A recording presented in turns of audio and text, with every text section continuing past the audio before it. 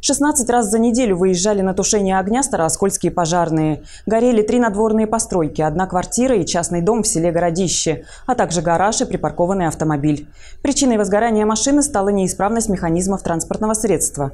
Еще 8 случаев зарегистрированы по факту воспламенения сухой травы.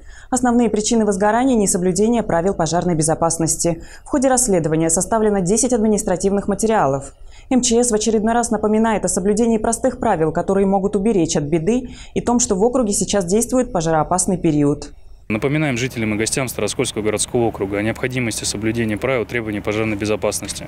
Особенно это касается сейчас, когда стоит устойчивая жаркая погода.